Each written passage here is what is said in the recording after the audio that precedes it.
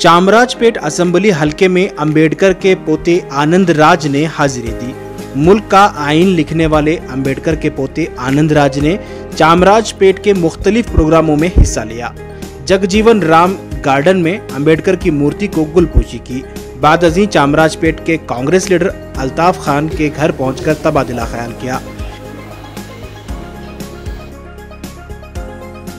इंतबात की सरगर्मियों में मसरूफियत की वजह से चामराजपेट के एमएलए बीजट जमीर अहमद खान गैर हाजिर रहे। इनकी गैर मौजूदगी में बी के अल्ताफ खान और दीगर अहम लीडरान ने इंतज़ाम किए।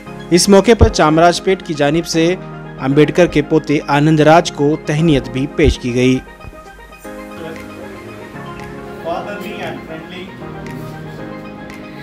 Knowledgeable and kind Humanity human and history maker, affectionate and appreciable, noble and noble real hero